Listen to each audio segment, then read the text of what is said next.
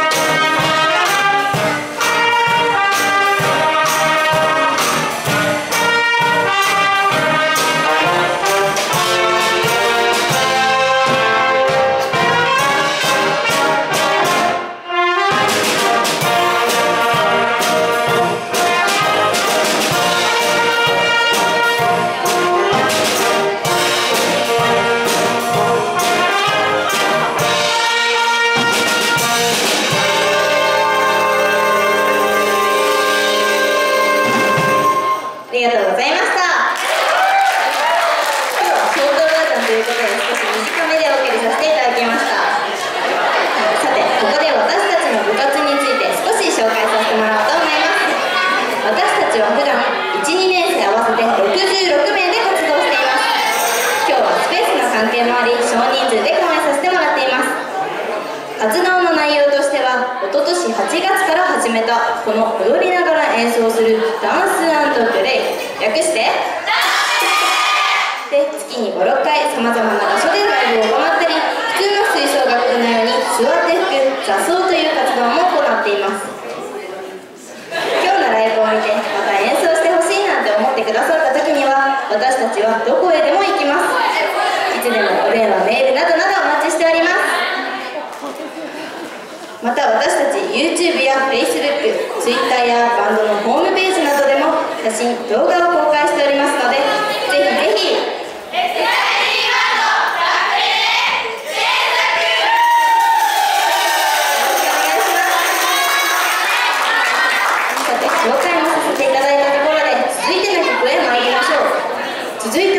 す曲は山本リンダさんの「どうにも止まらない」ですこの曲では過激な振り付けや遊ばしルックを披露しアクション歌謡の先駆けとなった曲みたいですよ。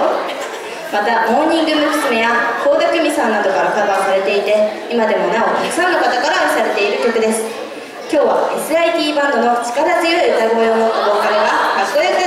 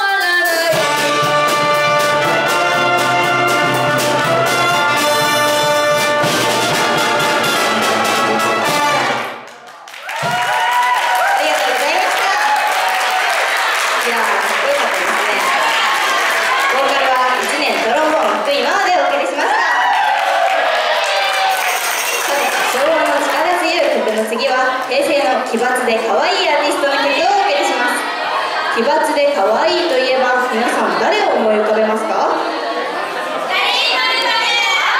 やはりそうですよね。キャリーカミカミさんですよね。